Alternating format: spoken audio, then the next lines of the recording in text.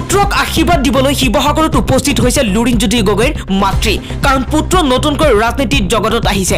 আৰু পুত্ৰই যাতে ভৱিষ্যতে আৰু ডাঙৰ মানুহ হ'ব পাৰে যাতে ভৱিষ্যতে ৰাজনৈতিক জগতখনত যাতে আৰু বেছিকৈ আগবাঢ়ি যাব পাৰে তাৰ কাৰণে শিৱসাগৰত উপস্থিত হৈছে লুৰিণজ্যোতি গগৈৰ মাতৃ। শিৱসাগৰত উপস্থিত হ'ল সদ্য পদত্যাগী আছুৰ সাধাৰণ সম্পাদক লুৰিণজ্যোতি গগৈৰ মাতৃ। আশীৰো ঊৰ্ধৰ লুৰিণজ্যোতি গগৈৰ মাতৃ দুলুমণি গগৈ আজি শিৱসাগৰত তিনিচুকীয়াৰ বৰ লাইপুলিৰ পৰা আত্মীয় সহিতে উপস্থিত হৈছে।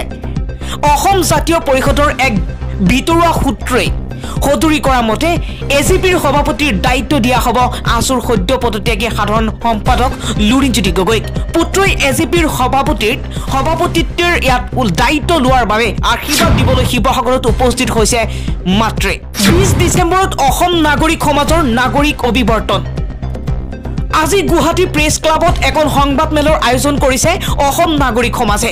পুৱা এঘাৰ বজাত আয়োজন কৰা এই সংবাদমেলত বিছ ডিচেম্বৰত অনুষ্ঠিত হ'ব লগা নাগৰিক অভিৱৰ্তনৰ পৰিকল্পনাৰ বিষয়ে সদৰি কৰিছে নাগৰিক সমাজে। মাস্কোৱাৰ প্ৰাগজ্যোতি সাংস্কৃতিক প্ৰকল্পত অনুষ্ঠিত হ'ব লগা এই অভিৱৰ্তনখনিত বৰ্তমান অসমৰ পৰিস্থিতিৰ সন্দৰ্ভত আলোচনা অনুষ্ঠিত হ'ব। আৰু সংবাদমেলখনত তেওঁলোকে বিগত শাসনকালত বিজেপিয়ে বিশ্বন ডকুমেণ্টত উল্লেখ কৰা একোটা কাম নকৰিলে বুলি উল্লেখ কৰি সকলোকে বিভাজনবাদী ৰাজনীতিৰ বিৰোধী বিৰোধিতা কৰিবলৈ আহ্বান জনায়।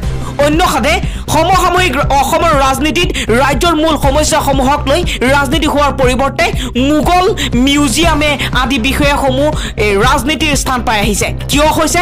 ইয়াৰ ওপৰতো বিতংভাৱে আলোচনা কৰা হ'ব। আৰু লগতে বৰ্তমান ৰাজনীতিৰ সন্দৰ্ভতো উদ্বিগ্নতা প্ৰকাশ কৰে অসম নাগৰিক সমাজে।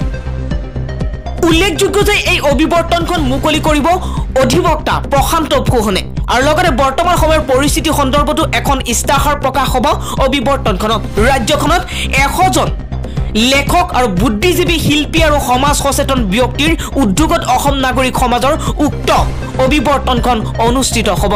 বৰ্তমান সময়ত কৃষক বিৰোধী আন্দোলনে অন্য এটা মূৰ দাৰোণ কৰিছে। কৃষি আইন বিৰোধী প্ৰতিবাদ বৰ্তমান ভাৰতৰ বিভিন্ন প্ৰান্ততে ইয়াৰ এটা ৰূপ দেখিবলৈ পোৱা গৈছে।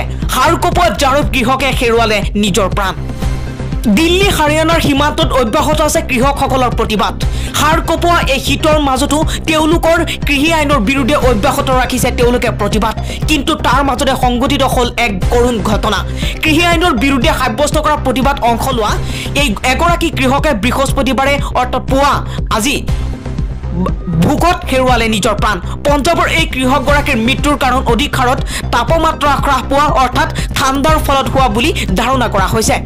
আৰু টিকৰি সীমান্তত তিনি সন্তানৰ পিতৃ সাতত্ৰিছ বছৰীয়া এই কৃষকগৰাকীৰ মৃত্যু হৈছে। আৰু লগতে উল্লেখযোগ্য যে বিগত প্ৰায় বাইছ দিন ধৰি কৃষি আইনৰ বিৰুদ্ধে অব্যাহত ৰাখিছে এই প্ৰতিবাদ। এই কৃষি এই কৃষকৰ প্ৰতিবাদ সমগ্ৰ ভাৰতবৰ্ষ জোকাৰি গৈছে।